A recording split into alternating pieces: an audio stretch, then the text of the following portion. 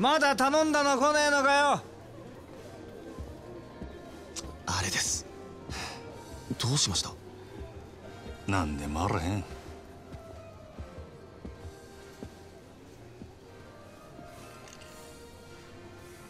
お楽しみのところ失礼いたします。なんだ？やっと持ってきた？おおあんたは艦隊の支配人さんじゃねえか酒は人の金で飲むに限るよなまったく。お客様ちょっとお話があるのですがご足労願えませんでしょうか？なんだよ人が気持ちよく飲んでんのに。お時間は取らせません。どうか。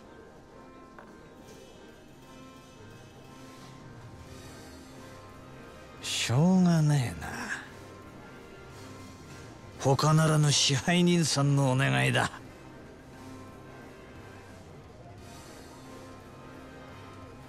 さてちょっくら行ってくるよ。あの支配人？この方は俺が相手する。お前は仕事に戻れ。はいわかりました。さあ参りましょう。はいよ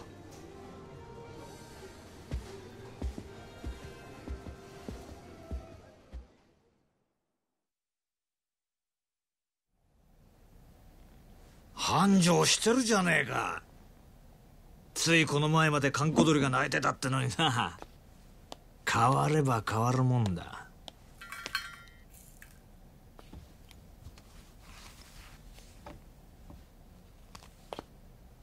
何しに来たんや佐賀そう邪険にすんなよ真島ちゃん。ちょいとお前さんの働きぶりを確認しにな。これも仕事だまあただで飲めるとは思ってなかったけどな。来るならちっとは行儀をしてくれんか。客が減るっちゅうねおおそいつはすまなかったな。ついはしゃいじまったよ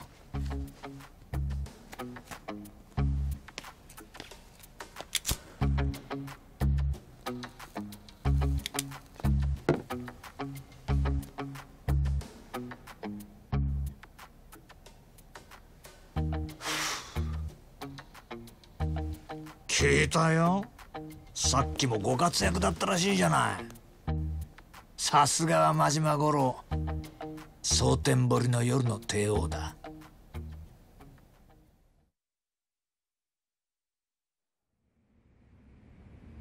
客との喧嘩を見せ物に仕立ててついでに飲み代まで取り上げちまうなんてよ。なかなか気が利いてるな。やっぱりお前仇が向いてるって。自分でそうは思わねえの？アホ抜かせ。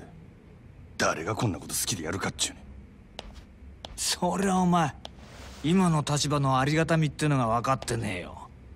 金も地位も名誉もある。ところや女だって随分寄ってくるだろ。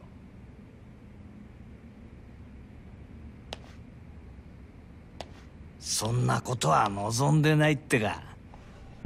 皮肉なもんだ。そんな誰もが羨む立場を得たお前だけがただ一人この町で別の何かを求めてる。幸せってやつはいちいち意地悪にできてるらしい。今日は随分おしゃべりやないか。しけた面のお前を見てたらなんとなくなでもまあこの現状をお前が気に入らないのは当然だ。これはお前への罰なんだからな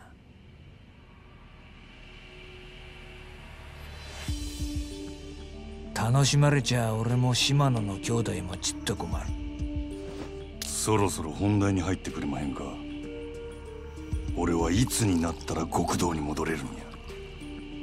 オーナー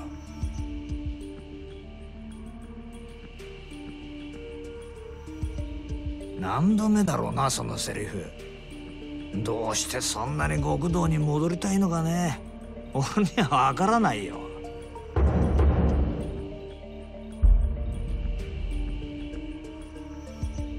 あんたに分かってもらう必要はない。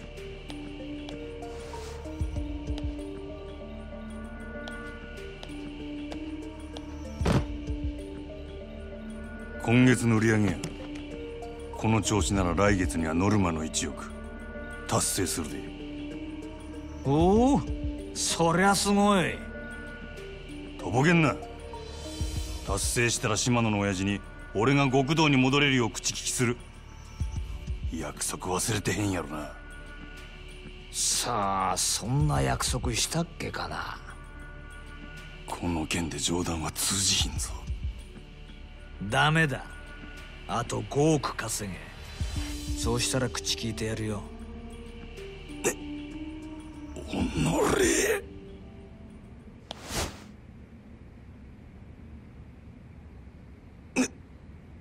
なんだ？殴らねえのか？まあやれるわけないけどな。そんなことしたらお前はあの暗い場所に逆戻りだ。それは嫌だろうからな。これがお前の戻りたがってる世界のやり方だよ。ヤクザがお前みたいな金づる簡単に手放すわけがないだろう。どうだ？やっぱり敵の方がいいんじゃないか？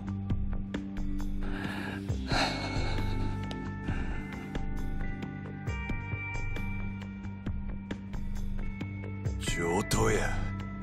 5億やろうが何やろうがなんぼでも稼いだろ極道に戻るためやったら俺は何でもやったるわ。ほう？何でも？ああそうや。それが殺しでも？どうした極道に戻れるとしたらお前は人殺せるの？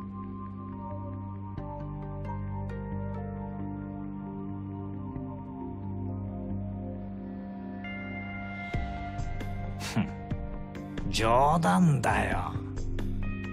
いや意地悪言ってすまなかったな極道ならいずれそういう山を踏むこともある。お前にそれが分かってるのかちょっと聞いてみたかっただけだから。引き続きよろしく頼むよ支配人。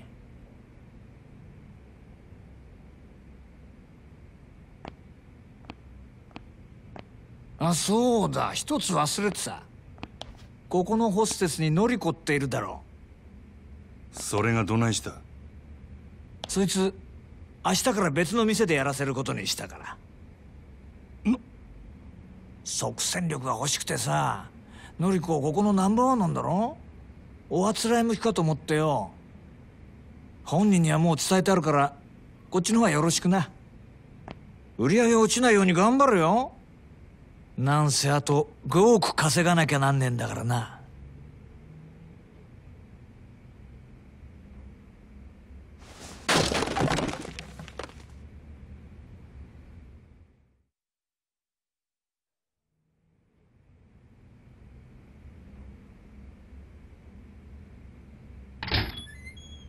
失礼します。あの支配人今のりこちゃんから明日からよそに移るって電話が。ああ俺もさっき知ったわ。ご存知でしたか？なんだってこんな急に。のりこちゃんがいなくなったら売り上げに相当響きますよ。分かっとる。せやけどオーナー様のご決定や。どうしようもあらへん。そうだったんですか。でもこれからどうすればたく。落ち込んどる暇もあらへんな。最近よそでイケとるホステス言うたら誰や？よそですか。